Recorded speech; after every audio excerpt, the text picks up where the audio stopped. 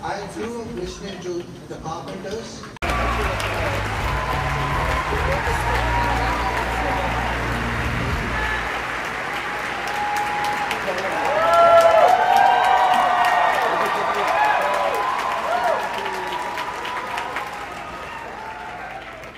Thank you, Academy. I grew up listening to the Carpenters.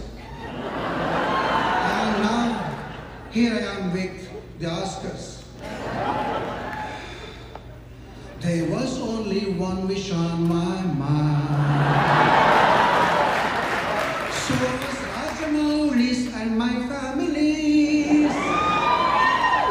RRR has to win pride of every Indian.